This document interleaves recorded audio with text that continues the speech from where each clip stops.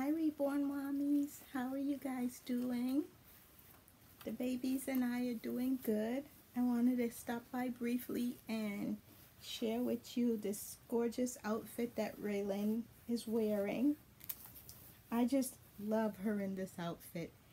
Unfortunately, she's had this outfit on for about two months now because I just loved her in this dress so much. And um, she has on her cute little sparkly shoes and her pink socks and in her matching headband. It's sparkly also. And then the back of the dress has the design with a bow on it too. So I just love her in this outfit. She just looks adorable in it. But it's time to get her out of this outfit. So I wanted to stop by and say hi to everyone and let you guys know that we survived that Texas freeze. And my mom and dad and I, we had electricity go out on Monday morning and it came back on Thursday morning. So we weren't out of electricity as long as other people have been. Some people had been out of electricity for over a week and water. And we had our water go out on Wednesday evening and we got it back on Friday morning. So it was a relatively brief period what made it a little difficult, you know, for everyone in Texas was because the temperatures had dropped so low into the low teens. Um, I don't, I can't remember if it dropped into the single digits or not and then at night.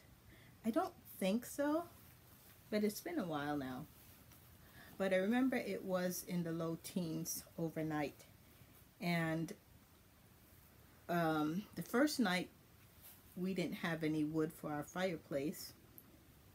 But it wasn't too bad because we had, we layered with clothing and then we had lots of blankets at night to sleep under. So we were actually pretty comfortable the first night.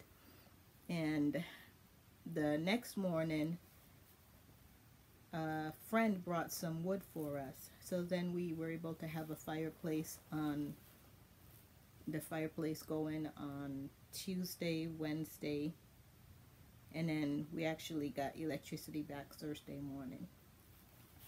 So we uh, didn't fare too bad, you know, as other people did. And we also had a camping stove that my dad set up in the garage, so we were able to open up the garage door and cook. And so we were able to have hot meals which was really nice when it was so cold. And basically we spent most of our time, you know, in the living room where the fireplace was. Because it was the warmest place in the house. Unless you were in bed under, you know, several blankets. Then that was warm also. But, you know, several people, you know, didn't have water for one one of my friends didn't have water for 17 days and another friend their electricity and water was out for a week. So uh, we did we did okay compared to many other people. Because as you guys saw in the news there were lots of broken pipes where people's houses were flooded and apartment buildings were flooded and lots of damage. And people are still actually waiting for their pipes to be repaired because the plumbers are just absolutely super busy and can't keep up with the demand for the repairs of all these broken pipes, bursted pipes from the super cold weather that we had. So anyways, we are doing good. The babies are doing good. And I decided that it was just time to get this little girl out of this outfit that she has had on for such a long time. But she just looks so adorable in it. So anyways, I am going to go ahead and put her on the changing table and we are going to get her changed. And I have Xander over here. I'm going to show you guys. As you guys know, I love smocking. So Xander is over here in the uh, swing and I'll show you what he's wearing. He has on his little blue outfit that has the train smocking in the front and his binky that has the cars on it. And he's just bare feet. No, no socks on.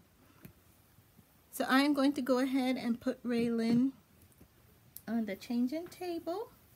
And we are going to get her changed, guys.